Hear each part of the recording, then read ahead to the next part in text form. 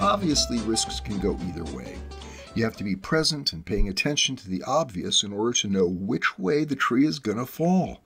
It even gives you the opportunity, on occasion, to help determine which way it's going to fall. Nice option.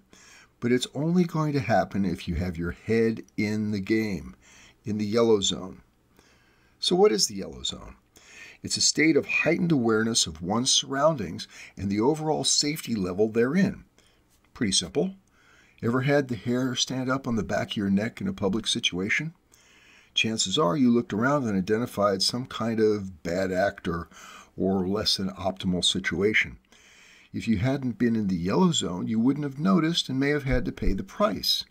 Not being aware of the wasp's nests when you're trimming the bushes can result in some wild arm waving, amazing freestyle aerobics, and painful consequences.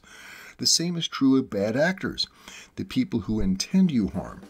But don't forget the good actors that bring with them benefit and opportunity.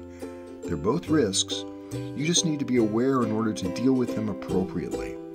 These risks will be quite obvious to you when you're in the yellow zone.